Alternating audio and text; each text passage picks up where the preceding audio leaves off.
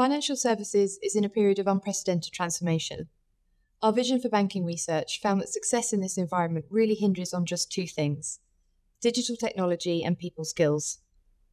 But the industry is facing a critical skills shortage at levels not seen before. FinTech and Big Tech are aggressively recruiting talent, creating a significant challenge for banking.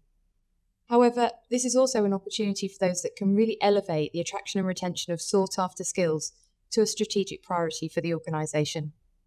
Our research shows that there are three key areas where banks can really focus. The first is strategic talent planning.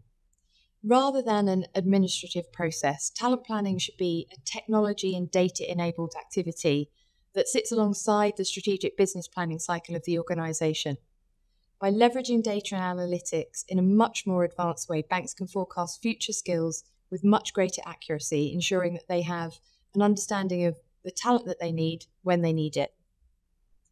Secondly, skills based people management. Shifting to a skills based approach isn't just about talent acquisition, but rather identifying where skills can be used to underpin the whole employee experience, including learning and development, talent management, performance management, and reward. And finally, disrupting the talent pipeline. Traditional approaches to talent acquisition emphasize qualifications, but this may mean that you're overlooking a wider pool of talent who demonstrate the skills and behaviours needed to achieve your strategy.